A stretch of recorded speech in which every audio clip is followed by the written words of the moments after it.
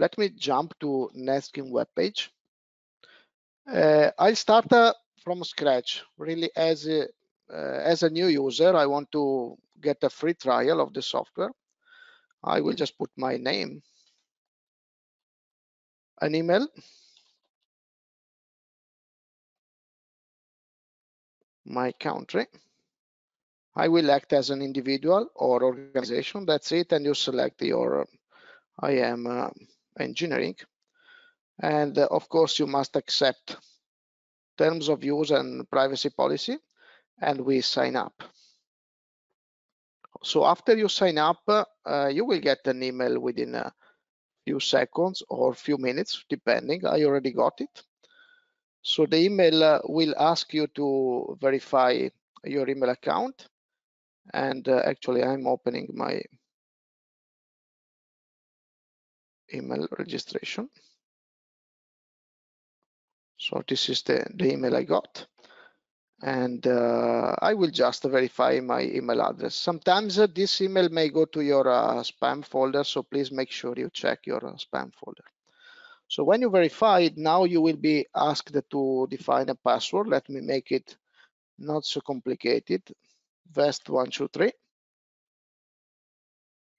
And we can continue. I'll make sure I'll change the password later. And now uh, my account is uh, is is created. I also got an email of confirmation, and now I can join with my username.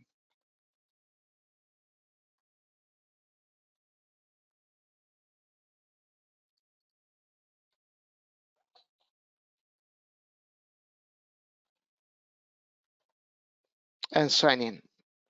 So the first time you sign up, uh, you will have to uh, check this. So basically, uh, we recommend some configuration in the Chrome browser. Basically, since when we make a diagram, we will need to save the diagram.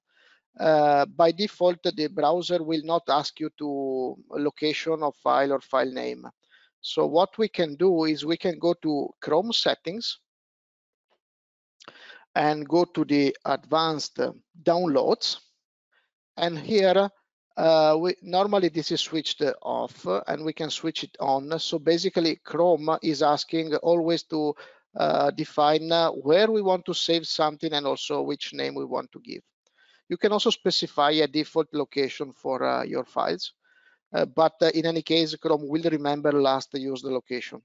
By the way, this is important. Ask where we want to store the files. Now that I have this setting done, I accept it and I can continue. Next setting is uh, I want to define my drawing unit metric and I save. Uh, unlike HydroCAD, uh, these settings in Imperial metric is not making much difference except for the title block uh, in the drawing. In HydroCAD, it would involve also units, but in NetSkeme, we don't have uh, at present um, uh, units. Um, of course, we can go to our account and where we can directly purchase monthly subscription or a yearly subscription. We can uh, provide feedback. We can also get help. And this is the um, online help that we provide, describing a bit of the workspace and some commands. But help is directly accessible uh, within the software. Uh, we can open files or we can start a new file uh, or we can just uh, sign out and sign in again with a different account. But let me try this one.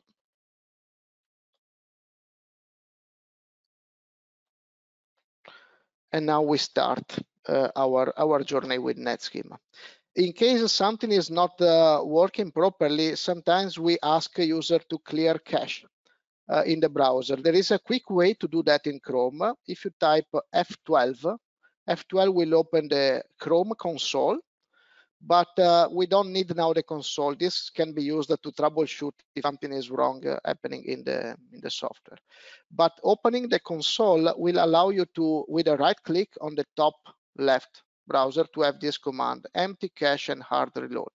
Sometimes, if you feel uh, slowness or uh, drawing not loading properly, just uh, do that: empty cache and hard reload, and this will uh, go back to uh, original state. We can uh, start a new drawing. And let me take an A4. and this is my drawing canvas. If I'm not happy by A3, A4, I can just change it uh, just by using the command uh, here on top in the middle, A3 or, and let me switch to an A3. If you don't like the grid, just uh, uh you find here, it's a F4. You just press function 4 or you click uh, the bottom left command. There are some other commands similar to some AutoCAD settings. So although in this case I'm not showing the grid, I have snap to grid on and uh, you can switch on and off uh, object snap like uh, AutoCAD, although this is behaving differently than, than AutoCAD. Um, if you want to place a symbol, you just uh, load the um, browser, symbol browser, which is automatically hiding. If you want to keep it visible, just mouse over and pin it. The second command is uh, to place symbols from your local library. I'll show you later how to build a symbol and place in the drawing. But basically this command will open uh, your file explorer where you can find your custom build symbols. Uh, on the left, all the symbols are arranged into folders. So for instance, we want an electric motor. So we click on a folder and enter in a folder and with a double click, we can place the symbol in the drawing. So if we want to start building a small uh, uh, motor pump group, so let me find, uh, uh let me see. Well, I just pressed F5.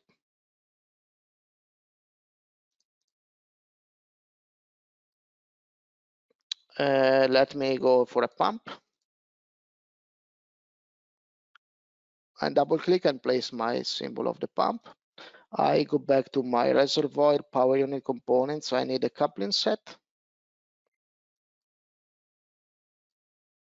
And I need also a bell housing.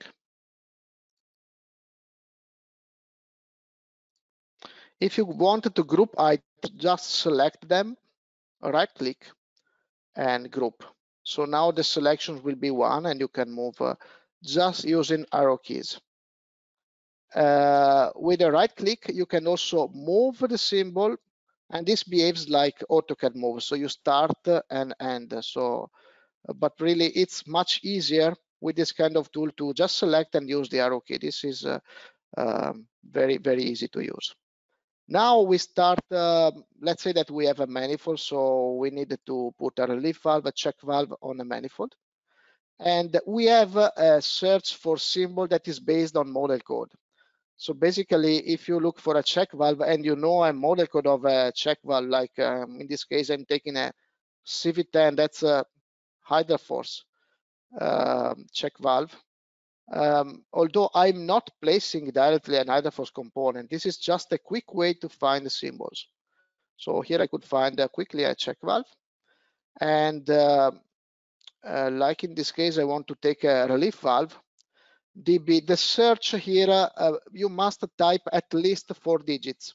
So if you use a two star, it will search all the symbols that are linked to components starting with DB. So in this case, there will be a lot of symbols. Uh, there are a lot of molecules uh, for German manufacturer uh, starting with DB, which is the uh, D stands for Druck, and uh, that's pressure in German. And we just place a symbol that we want. To rotate a symbol, you can select and rotate uh, left, and we can move the symbol. The balloon, you can move it where you want. And again, uh, you just select the symbol and, and, use the arrow key to, to move them. Um, let's say that we need a filter. So we go to the filter symbols, uh, filter, let's say single filter. And we need a filter with a bypass and maybe with an electric contact. This is good and we want to flip it upside down. And of course, we can move where we want. Let me stretch the envelope. And let's start making connection. So we can directly make connection using the um, this this uh, uh, menus on the on the top. Let me highlight with a pen.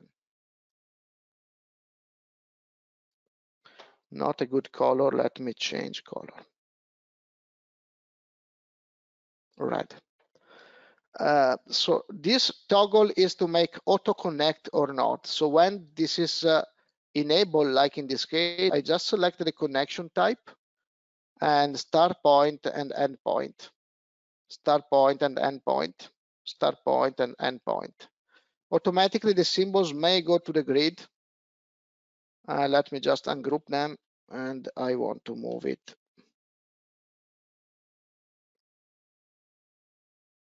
So when I moved that uh, that subsystem, I went it off grid. So it's easier to work with the grid. You will save time by working in the grid. Uh, if you want to place uh, external ports on uh, on an envelope, uh, you can just use the manifold port command, and there you can select the port type and the port name. Let's say that uh, I need a port named P1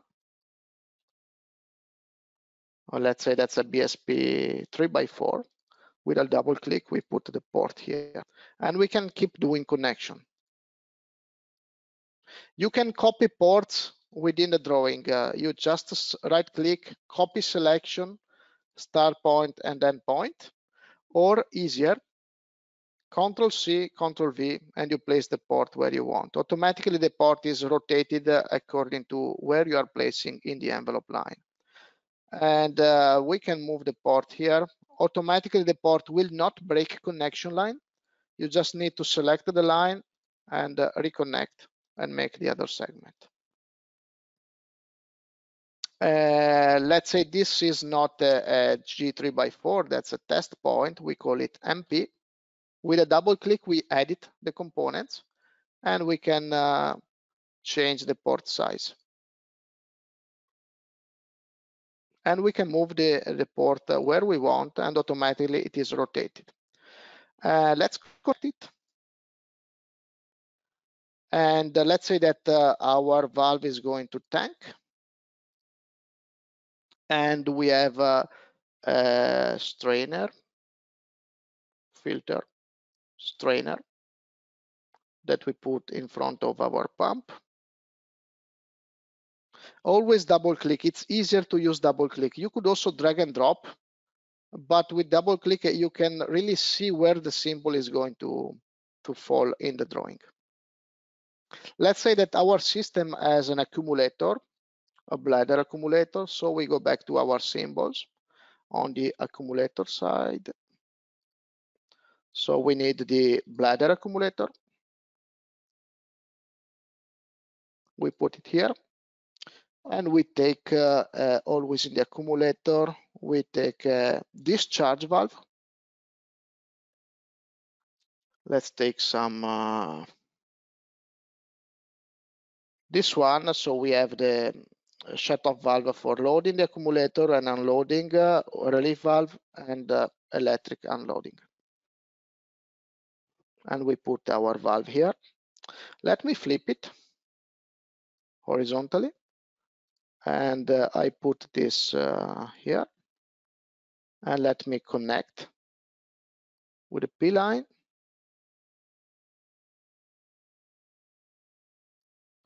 and I need the tank line. Let me go here. If you don't like how the connection is made select the line and just make it add more band as you want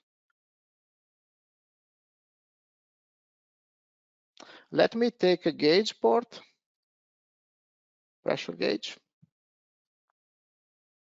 So here we want a pressure gauge. And maybe here we need the same pressure gauge. And uh, pressure switch.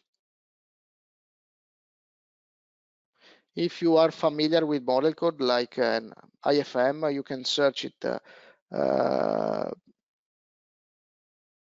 PT540. So this is a model code of IFM pressure switch and you can find it directly with a double click. But again, this is mainly to find uh, the symbol. If you want to define uh, item number, you select a symbol, right click and edit. So here we can type the part number. So uh, it's PT540. The manufacturer is IFM and it is pressure switch.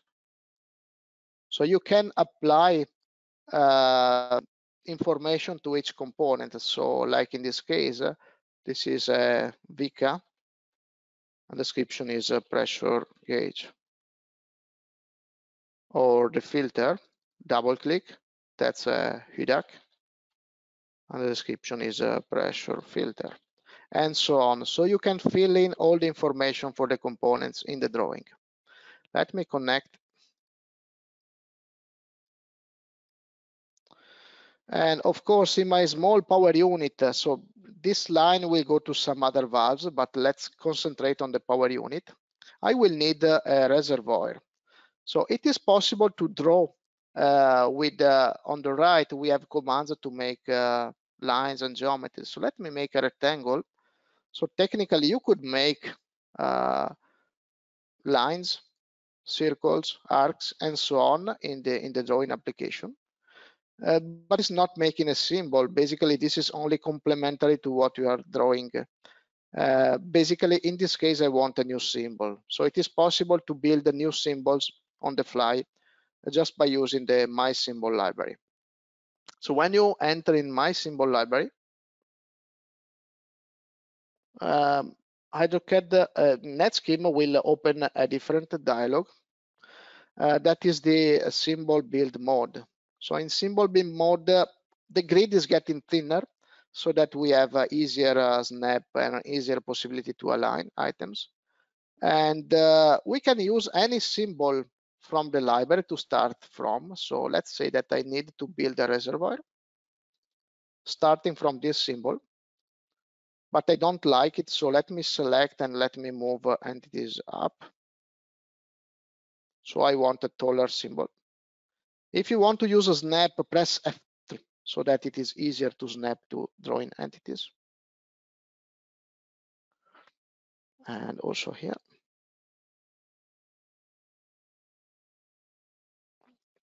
and the item ID is represented by this uh, question mark. So it is the position of the balloon. And uh, let's say that this is going to be slightly there. And we want another line. F3, F8. And uh, you can use the uh, copy attributes to apply the same uh, drawing style to entities in the drawing. So it's not like AutoCAD, of course, but you can do some uh, 2D drafting to, to complement your uh, symbol. Uh, in the ISO building blocks, you find a lot, a lot of uh, smart elements that help you with building uh, new symbols.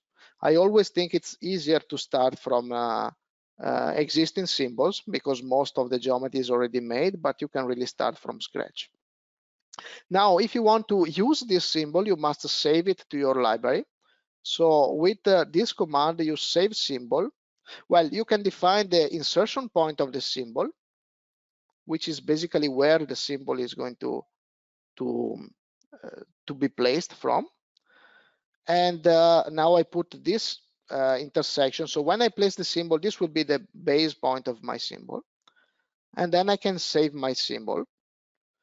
Uh, in this case, I have not specified any uh, connection point, so I get a warning from the software. But yes, I'm uh, doing just a symbol that is really is not connected to anything else with the external ports.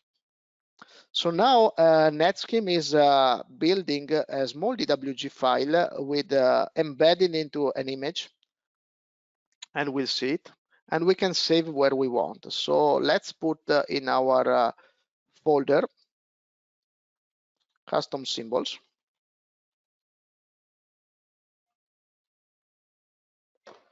And uh, let's call it the webinar symbol As you see, the file is a PNG, so it's easy to view also when we want to use it.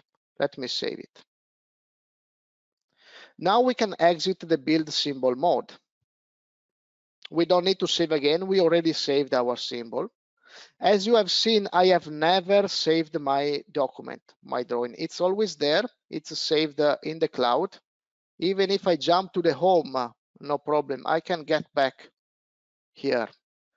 Uh, if you want, you can download uh, the DWG file. So in this case, you are saving locally. But the working document is always here available, even if you disconnect. So let me, oh, by mistake, I closed my browser. So let me go back. Uh, NetSkeme. Login. Of course, I log in with my username and sign in. It's warning me that there was another session. Yes, I'm aware of. This warning is important because if you have two users with the same uh, ID uh, using NetSkeme, when you click yes, this will uh, kill the other session. So you will enter as a, uh, your own. And now, as you see, I didn't lose anything. I didn't save, but I didn't lose anything. Now let me place my uh, reservoir. So it's uh, in my library, my symbol. Uh, it was in the folder called custom symbols and webinar symbol. With a double click, you place the symbol exactly with that insertion point and we can put it here. Let me move these elements down. And let's go back to the symbol and find some uh, additional elements like uh, air breather.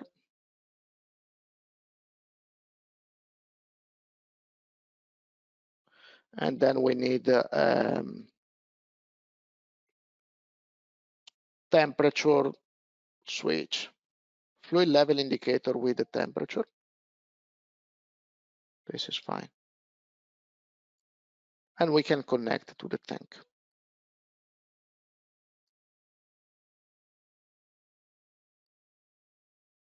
Always moving up, the balloon can be moved where we want.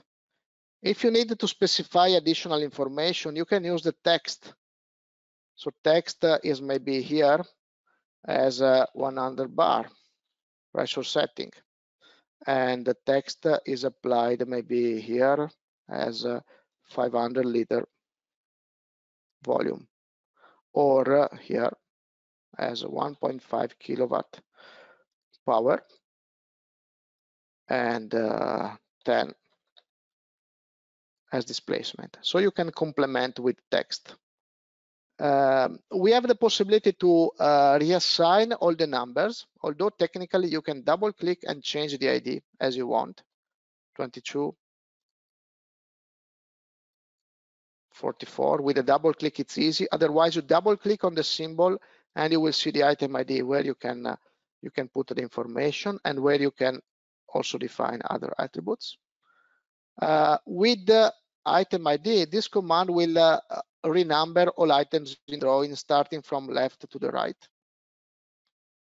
And, uh, and now we can really make a part list.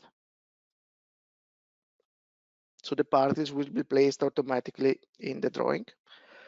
And if there are identical items, let me make an example. Let me move here.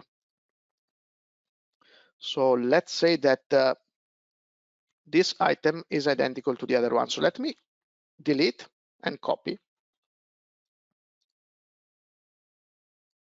Well, I didn't put any molecule. Let's say the molecule is uh, uh, WK123. And this one also is uh, WK123. So although they have different uh, ID, 16 and 14, when we make the part list, now these items will be grouped in the drawing as item 14, 16 with a molecule and with the description and uh, item number. Uh, that's a table, so uh, it is controlled by the attribute. If you want to change it, you must edit the attributes for the components in the diagram and create the part list. It is possible to create additional tables. And you can define a number of rows and columns if you need to specify additional information. This is done uh, manually. So you place the table and there you can just type in, uh, let's say, port size, port ID, site, type. Let me change that. So unlike HydroCAD, the NetSkeme is unable to create a port list on the fly automatically. You just can do it. P1, P and P1 are the 3 by 4 uh, BSP port. And then we have uh, MP as a 1 by 4 BSP. And then you can make the, the tables that you want. You can also change the size of columns and tables as you want. And move the table where we want. Always remember arrow key is working very fine to move tables uh, or just select with the mouse, left mouse click, and then you move the table where you want. When you are done with your diagram, you can save it as a DWG. And there it will ask you to save where you want. And let me put in my desktop. That's the uh, NetSkeme webinar. That's a DWG. You can open with AutoCAD or with HydroCAD, no problem. If you need help, just click on the question mark and this will open uh, the help and so you can find the samples uh, and uh, and information videos video tutorial we are improving uh, so if you find some items not uh, very good just feel free to ask us and we will be happy to to improve um, the help but uh, I think it's easier really to to play with it. It's uh, very intuitive and uh, fast. You don't need to worry about uh, installing software, saving. It's all done. And if you need a PDF, this is done really on one go PDF, and automatically we, get a PDF,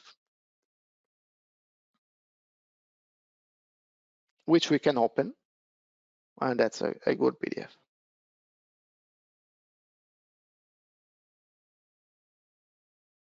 As a last information, since I have also AutoCAD, let's see what happens if, uh, as an AutoCAD user, I open uh, this, uh, this file uh, that I have made today with AutoCAD. Same will happen if you open with a 3D CAD application or a 2D CAD application. So I can just go and open my file, which was saved in the desktop.